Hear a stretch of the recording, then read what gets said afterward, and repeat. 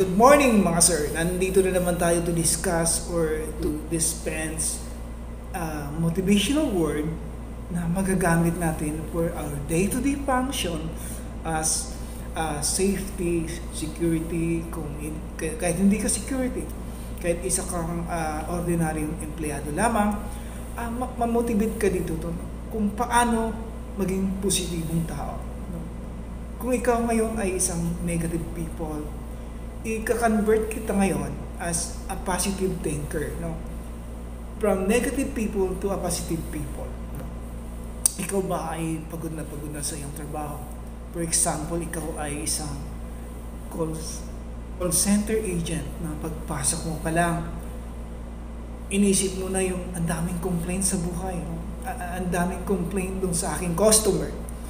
Paano ka siya matug-motivate na na mabigyan mo siya ng magandang service. Kung ikaw ba ay isang security personnel na pirik ang araw, pagod na pagod sa trabaho, hirap na hirap, pero ginagawa mo para sa mga anak mo. Ginagawa mo para sa relatives mo. Ginagawa mo para sa mga anak mo. Hirap na hirap ka na ba? 12 hours na pag-duty?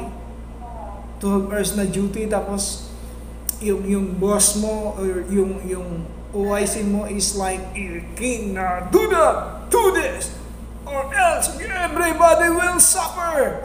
So ngayon, i-develop natin yan. No? It's normal routine no? ating buhay. No? Kung ikaw ba ay isang uh, utility personnel na na-assign dun sa COVID area, no? parang takip na takip pa yung, yung katawan mo, naglilinis doon sa very uh, critical na area, naglilinis ka ng maraming dugo, nag-inventory ka ng mga COVID patient, ikaw ay isang utility na nagbubuhat ka doon sa purinarya, hirap na hirap na yung buhay mo, parang ang may sakit pa yung yung yung, yung relatives mo, may may may kaaway mo pa yung wife mo, kaaway mo pa yung husband mo, yung yung wife mo walang walang walang sense ng love, hindi na nagpapakita ng love yung mga anak mo, inaway ka, ikaw pa yung nagtatrabaho, batugan pa yung asawa mo. Ikaw ba hirap na hirap na? Nang iti-twist natin from negative to positive. Lahat naman yan is ano eh, although sinasabi nila na life is not unfair. O, although, oh yes, we, we, we assume na life is unfair. Kasi may mayaman, may magandang trabaho, may, may, may, may mga kotse yung iba. Tayo walang kotse, tayo naglalakad lang. No? Although, life is unfair, pero hindi ho tayo pinabayaan ng ating may kapal. No? No? We will back, uh, we will back our topic. Ikaw ba ay isang personnel ng receptionist na yung naka-encounter ka ng mga arrogant people. No? Minsan, ikaw ay ang construction worker na eh, araw-araw na lang tuyo ang kinakain, araw-araw na lang sardinas, no? Parang yung mga safety officer mo sisitahin ka, bawal mo na yung garilyo, bawal na, no? Uh, parang yung, yung, yung mga head mo is parang i-volcan taal na nag-erupt na erupt, no? Parang kahit uh, ikaw ay naka-duty, bawal kang mag-CR, nag-traffic ka 12 hours, grabe ng traffic mo, hirap na hirap ka na ba sa buhay mo? Now, ating babaguhin. Mahong yan ay binibigay sa atin ng Panginoon. Yan po ay nakakatulong sa atin. No? Although hindi man kagandahan yung trabaho, pero pinapapatay po ng Panginoon. No? Hindi unfair nga, pero may isang specific uh, na binibigay ang Panginoon sa atin na para maging pantay tayong lahat alin mo ang maging mayaman kung mayroon ka naman cancer. Alin mo yung mga mayaman ka na nga, pero na, ano ka, may, may, may problema ka sa katawan. No? In reality, ang lalo ng buhay, tanging ang pag-asa natin ngayon is ang pagsisikap. No? At huwag na huwag kalimutan, ang may kapal kasi lahat naman ngayon, yung nangyayari sa atin dahil ganun ang trabaho natin dahil yan ay destiny. Yan ang, yan ang kagustuhan ng ating Panginoon. Pero kung kahit yan ang trabaho natin, isa ho yung professional na trabaho. Yan ang binibigay sa atin, pero through that, through that work, may, may, may have you noticed, kahit utility lang si tatay, and the end of the day, yung anak niya napag-graduate niya ng law. No? Have you noticed yung tindera ng isda? Napag-graduate niya ng doktor. No? Doktor. No? So meaning, kung ano man ang binibigay sa atin ng Panginoon, yan ay ang ating destiny. Ngayon, ang ating ibaghagi kung gaano tayo ka-blessed sa buhay mga kaibigan. No? Kung ang akala mo, ikaw na ang pinakamahirap sa sitwasyon ngayon, sa buhay, ikaw ay nagkakamali. Dahil ating isa-isahin, so yung mga taong nahihirapan. Ikaw ba ay ganito? Ikaw na ba ngayon ay pinaka worst thing na nangyari sa'yo? Ikaw na ba yung pinaka poor people? No? No? Think those people who are jobless, no? Think those people who had a uh, deceased relative na namatayan, di ba? Malungkot sa atin. Think those people na may, may mga disabled, no? Think those people who suffered uh, tumor sa utak, di ba? Nakakalungkot dahil think those people who suffered cancer, di ba? Think those people na sa ngayon nagtitraining na niligtas ang bayan. Think those people na nakipag-encounter sa Abu Sayyaf para lang sa atin, para sa kasagana natin yung mga sundalo. Pugay kamay tayo sa kanila. No? Do you think kaya natin yon? No, hindi nakipagpatayan, nakipagbarilan, para lang sa ikakaligtas ng sambayan ng Pilipino. No? No? Think those people na training para sa pamilya nila. No? Papiliin ka, either you can produce blood, either you can produce water, or either you can produce yung, yung, yung, yung, yung rice na galing sa tiyan mo, sinusuka ng dahil dyan sa training na yan. Do you think kaya niyo yun? Do you think kailan ba maghihirap? No? Do you think, no? do you think, imagine those people na blind. No?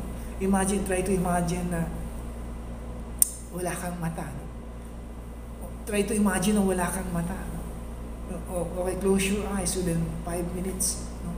And, and think na, eh, i-realize mo na the whole the whole ng buhay mo wala kang mata no? No? Think those people na walang sex life no? Pag think those people na naging ano pero sa mga bagay na yon hindi pa rin tumitigil si Lord. Kahit may mga disabled yung iba diyan nagtuturo no? Kahit may mga cancer yung iba diyan nakapag-survive no? Kahit look at these photos kahit hirap na hirap na sila kahit hirap na hirap na pero napakasaya pa rin. Kasi nandyan yung pamilya nila. Nandyan yung, yung anak niya. Kahit wala silang kinakain, basta magkasama lang sila. No? Gaano tayo ka-blessed? No? No? I, yung, yung, yung sinabi ko kanina na hirap na hirap kayo, ay ating i-imagine. Gaano tayo ka-blessed mga kaibigan? No? Sabihin natin nga as what I have said kanina na life is unfair. No? Pero mabait po ang Diyos at tayo po ay hindi pinapabayaan. Ngayon, bibigyan ko po kayo ng example kung, kung gaano tayo ka-bless. No? Yung ating one, one whole sheet of paper, then ilista mo yung negative na nangyayari sa buhay mo or ilista mo yung blessings na nangyayari sa buhay mo. Okay, for me, example, ang negative ko is yung pangarap kong maging call to active pagiging sundalo, pagiging officer ng Philippine Army, hindi ako na-pursue. Nakapag-service lang tayo ng 2 years as SCAD pillar. Pero yun po, uh, ulo regret yun dahil hindi talaga para sa akin. And second, may mga may yung tatay ko may sakit pero sa awa ng Diyos tinutulungan. Yun, yun lang ang mga negative sa akin ngayon yun na yung mga negative sa akin. Now, ngayon, let's proceed to, ano, to, to, to blessings. No? Ang dami pong blessing nangyayari sa atin ngayon. No? Binigyan tayo ng trabaho. No?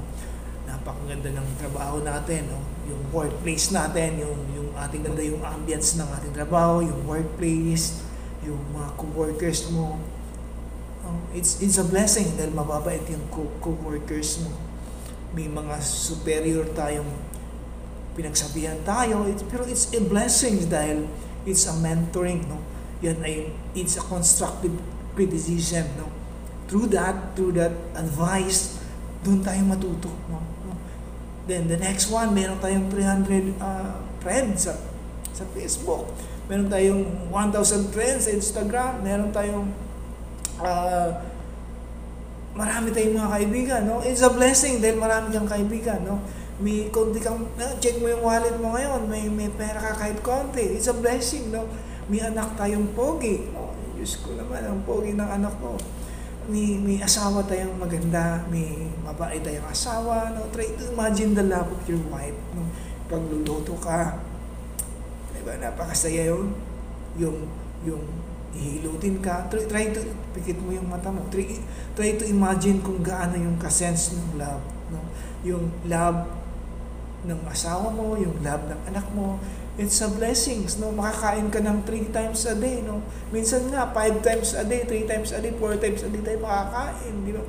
May mababait tayong mga magulang, di tayo pinapabayaan. Ang dami ho ating blessings. Million-million po ang blessings sa buhay natin, no? Binigyan tayo ng maayos na paghinga. Imagine those people na na nakalaging may Alzheimer, parang may sakit sa sa baga nung puro lang inhale. Imagine mo lang, eh, walang exhale. No? Puro lang inhale. No?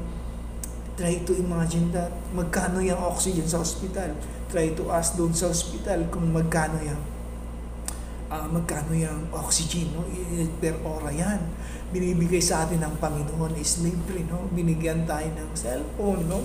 Yung iba dyan may sasakyan, yung iba dyan may motor, no, may, may, may, may, may test badaya kung paano maranasan kung gaano kasarap yung pagkain. No?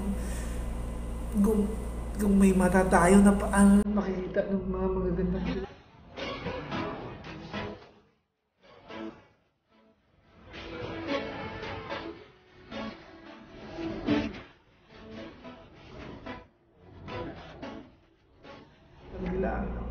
blessings yan, no? kahit pa paano blessings yan, no? May mga magulang tayo kahit sa hirap, hindi tayo pinapabayaan. Meron tayong uh, mga kaibigan, meron tayong mga mga so napakarami pong blessing sa buhay natin, no? Uh, balang araw kung basta yun lang na, sa mindset natin, napakarami pong blessings natin. Hindi mo mabibilang sa kamay, millions po ang blessing sa atin. No, ngayon, so may mapapaguhin natin ang mindset mo. Pagpasok mo, imagine mo, maglista ka ng negative, maglista ka ng positive. No, ngayon, pagpasok mo sa trabaho mamayang gabi, may bukas ng umaga, no, makikita mo kung, kung maging masaya ka na. No, yung, yung negative mindset mo turn to to positive mindset. No, kagaya ng tao nito. hanggang